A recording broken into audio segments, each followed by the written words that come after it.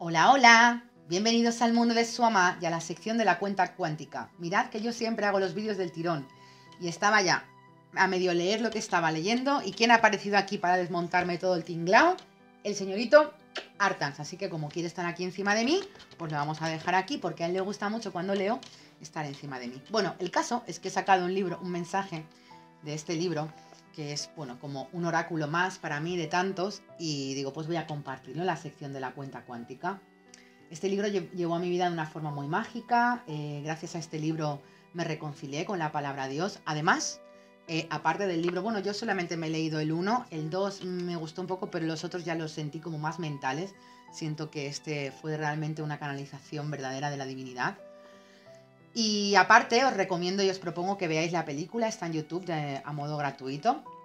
Eh, y es muy bonita de, ver la historia de cómo Neil Donald Walsh, que es el escritor de este libro, llegó a, escribir este libro y por dónde pasó. Me siento muy identificada porque no hace ni 10 meses que viví una experiencia muy similar a él. Acabé viviendo en una tienda de campaña, casi con una mano delante y otra detrás, y con mi perro enfermo. Y, y bueno, pues también estoy viviendo muchas cosas como él, de lo cual me siento muy, muy agradecida. Así que en esta ocasión ha dado un mensaje, Artanx, si no paras, cariño, pues no podré leerle a los hermanitos este mensaje, ¿eh, cielo? Ah. Y se llama, en vez de los 10 mandamientos, los 10 compromisos. Vamos a ir leyéndolo, que para eso es la cuenta cuántica, y lo vamos a ir desarrollando poco a poco de todos esos libros que han servido en mi evolución en conciencia. Iremos leyendo capítulos, iremos desarrollándolos.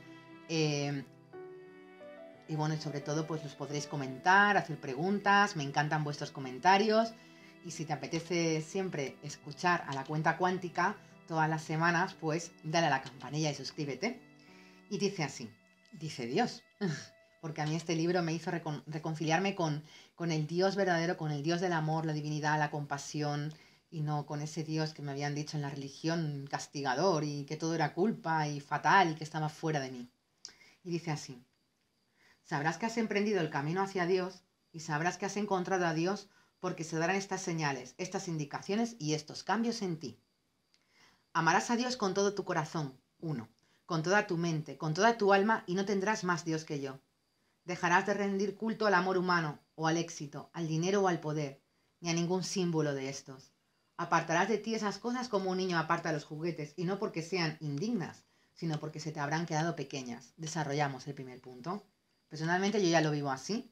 De verdad que cuando se refiere amarás eh, con toda tu alma y no tendrás más Dios que yo, se refiere a que tu paz ya no tiene precio, que no hay nada ya que te pueda complementar, así yo lo recibo este mensaje, ¿no? Y que te pueda sentir más satisfecho que el amor de Dios y que lo demás, pues sí, son complementos, voy a soltar hartas porque me está poniendo. ¿Cómo me está poniendo? ¿Eh? Saluda. Saluda. Me ha costado lo mío, ¿eh? Porque no veáis cómo pesa. Es decir, em, a lo que yo siento que hace referencia aquí es eso, que ya no hay nada, por lo menos yo lo hablo así, que pueda hacerme sentirme más plena y más satisfecha que el propio amor de Dios y que sí, que el dinero es maravilloso y que pues quizás las relaciones también y, y todo eso, ¿no? El éxito, todas esas cosas de, de, la vida externa, pero son como, como juguetes, ¿vale? Que si están ahí, pues qué bien, los disfruto, pero que si no, ya no, ya no puedo amarlos más que a Dios, ya no puedo poner el poder ahí, ¿comprendéis? El poder lo pongo siempre en la divinidad que yo soy. Segundo, y sabrás que has emprendido el camino hacia Dios porque no usarás el nombre de Dios en vano, ni me invocarás para frivolidades. Entenderás el poder de las palabras y de los pensamientos, y no pensarás en invocar el nombre de Dios de una manera impía. No utilizarás mi nombre en vano porque no podrás hacerlo, puesto que mi nombre, el gran yo soy, nunca se usa en vano, es decir, sin resultado, ni puede usarse, y cuando hayas encontrado a Dios, lo sabrás. Bueno, pues esto es algo que yo también experimento en mi realidad, que la palabra es la pala que labra, lo que hace referencia es eso, que cada vez que verbalizamos algo con poder, como somos, cuán poderosos somos, que cada vez que verbalizamos algo con poder ya le estamos dando esa orden a, nuestra divinidad en nosotros, pues imaginaros, tenéis, yo escucho mucho a las personas y también lo hacía cuando vivía de modo inconsciente, eh, cuando decían yo soy muy desordenado o yo soy despistada, ¿no? Pues por ejemplo, eh, en mi realidad experimentaba ser la persona, parece ser, me comportaba como una persona bastante despistada y creaba muchos problemas de ello, que ya desarrollaré esto. Y, y, claro, es que me lo verbalizaba constantemente y claro, pues la palabra creaba mi, mi camino. Ahora pues os aseguro que la impecabilidad la intento tener constantemente, observo mi palabra, observo lo que digo y no utilizo el gran yo soy en vano, os lo aseguro, porque nunca se puede utilizar en vano. Y dice, tres, y te daré también estas otras señales. Te acordarás de reservarme un día al que llamarás santo, y esto para que lo hagas no se quede en ilusión, sino que te hagas recordar quién y qué eres. Y luego pronto llamarás a cada día domingo y a cada momento santo. Bueno, esto es fácil, ¿no? Creo que es hiper mega importante en nuestra evolución para escucharnos, para, para sentirnos, para, para saber qué es lo que necesitamos. Tener esos momentos de soledad, de quietud, de silencio. Eh, personalmente, yo casi todos los días para mí, pues los vivo como santos ya sí que lo experimento, pero antes de llegar a este estado de que todos los días y cada momento fuera santo, sí que me reservaba eso uno o dos días para mi silencio, para el ayuno. Por ejemplo, pues para mí un día de ayuno es mi día santo, es mi ofrenda. Bueno, creo que este era fácil. Cuatro. Honrarás a tu padre y a tu madre y sabrás que eres hijo de Dios cuando honres a tu padre y tu madre Dios en todo lo que digas, hagas o pienses. Y en la medida que honres a tu padre, madre Dios y a tu padre y tu madre en la tierra, pues ellos te han dado la vida, Así también honrarás a todo el mundo. Amén. Esto es muy sencillo.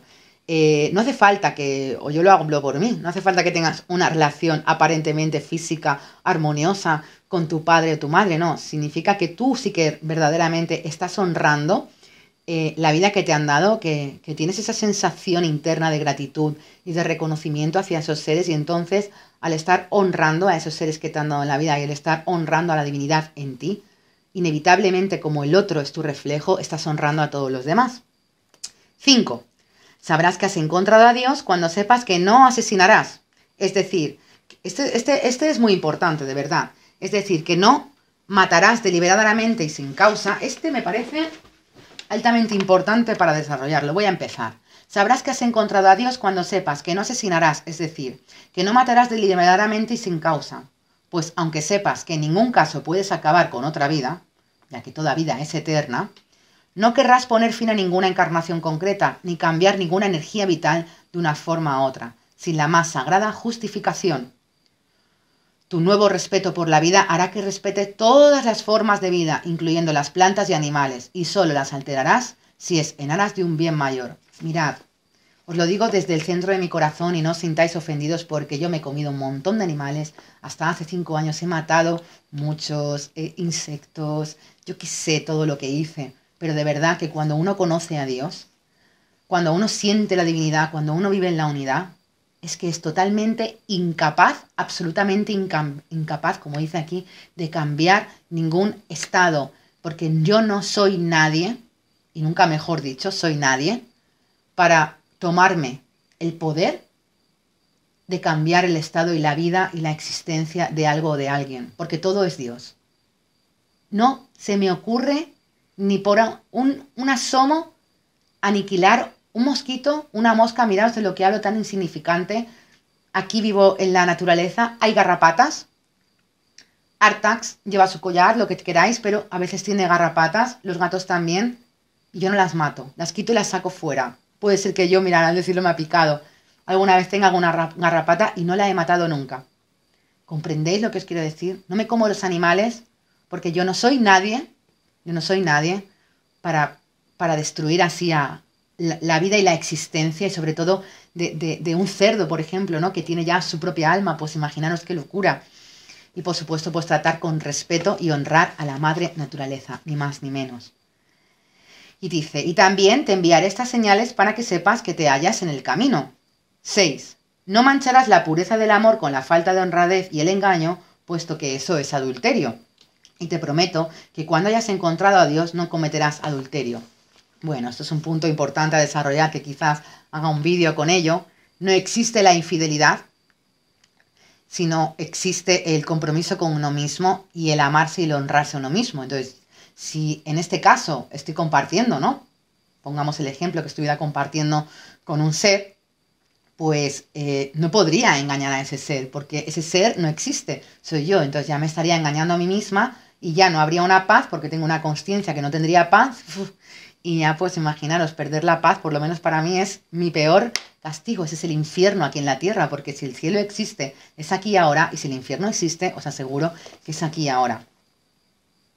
Y dice, el 7, no tomarás lo que no sea tuyo, ni cometerás fraude ni estafa, ni harás daño a otro para poseer algo, puesto que eso sería robar. Te prometo que cuando hayas encontrado a Dios, no robarás. Dato muy importante. Y os voy a poner un ejemplo que escucho mucho por ahí. Y desde luego, esta es mi visión, simplemente, mi humilde visión. Y es, eh, muchas personas me cuentan que aún cambian las etiquetas. Yo también lo hacía hace años. No mucho, porque la verdad es que he tenido la suerte que por ahí no me dio, me dio por otras cosas, pero por ahí, por el robar y todo eso, ¿no? Pero sí que me cuentan, ¿no? Pues que cambian las etiquetas o que se llevan un jaboncito del supermercado, de tal, y te dicen, no, porque claro, el supermercado gana mucho dinero. De hecho, hace poco, no hace mucho, hace ya un año o así, viví una experiencia muy graciosa en un hotel que fui con unas mujeres y vi que se llevaba como, no sé si era una, una jabonera o qué era historia, y le dije, hermana, ¿estás segura de llevarte eso? Ah, y el hotel no se va a dar cuenta. Dije, ya, pero el hotel es Dios. ¿Sabes? No es el hotel, es Dios. Ah, pero solo es una jabonera. Digo, ya, pero Dios no entiende de cantidades. Dios solo entiende de esencia. Entonces, la esencia, primero, de que tú robes algo, sea un jaboncito, sea cambiar una etiqueta, primero, el mensaje que le lanzas al universo es totalmente carencia y vas a recibir carencia. Segundo, estás robándote a ti mismo porque el otro no existe, os lo aseguro, por lo que no va a haber una paz absoluta en ese acto. Y tercero, las consecuencias son inmediatas, os lo aseguro, eso se llama karma. Pero bueno, no te creas nada, lo vas a experimentar por ti mismo o ti mismo y a lo mejor al escuchar esto quizás aún estás en ese proceso de hacer eso, que es perfecto y de repente lo empiezas a observar y como conocerás a Dios, pues dejarás de hacerlo. Esto es solo un recordatorio, ni más ni menos. Dice 8. Ni tampoco dirás algo que no sea verdad y por lo tanto no levantarás falso testimonio. Obvio, ya lo he dicho antes. ¿Para qué voy a mentirte? ¿Para qué voy a mentir a nadie? Si me estoy mintiendo a mí misma, pues no tendría ningún sentido. Ya, cuando uno conoce a Dios, que sabe que el otro es Dios, pues no tiene sentido engañar, mentir, estafar. Es absurdo. 9 ni tampoco codiciarás a la, esposa del a la esposa de tu prójimo, ya que, ¿por qué ibas a querer la esposa de tu prójimo si sabes que todas las demás son tus esposas? Bueno, esto es muy profundo, yo lo vivo así también. Eh, hace mucho que no comparto una, relación de pareja, pero cuando la he compartido, eh, primero no, no he sido una persona que tenga tendencia a sentirme atraída por otros seres, porque cuando comparto con alguien es porque me siento absolutamente completa y satisfecha con esa relación y ya tengo bastante, ¿no? Yo no sé vosotros, pero si tenéis una relación consciente ya es más que suficiente y luego porque es, real, o sea, ya no hay nada separado de ti, entonces ¿por qué voy a envidiar el novio de mi amiga si sé que todos son mis novios? Bueno, esto es muy profundo que yo no sé aún ponerle palabras porque es algo que sí que experimento, pero no sé cómo compartirlo. 10.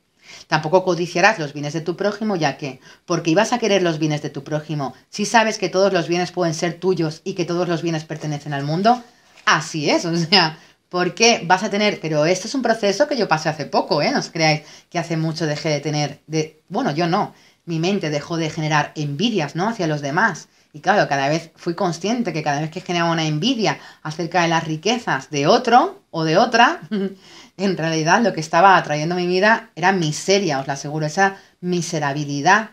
Y al final aprendes a, admirar la riqueza del otro y así, porque sabes que el otro es tu unidad, es tu otro yo, y al admirar la riqueza en el otro, la estás admirando en ti y entonces la atraes, la manifiestas, etcétera, etcétera.